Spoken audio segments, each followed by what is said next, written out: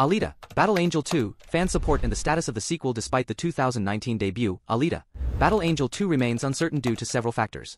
The film received significant fan support, with the director expressing his interest in a sequel.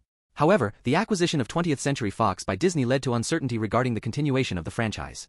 Christoph Waltz and Rosa Salazar, who played Dr. Dyson and Alita, respectively, have expressed uncertainty and hope for a potential sequel. The first film set up a potential sequel, leaving several unanswered questions about Alita's past and the mysterious city of Zalem. The film's director, Robert Rodriguez, and co-writer, James Cameron, had plans for a sequel, including a complete story arc. Cameron even provided extensive notes for a potential trilogy. While a release date for Alita, Battle Angel 2 is uncertain, the process would likely take several years.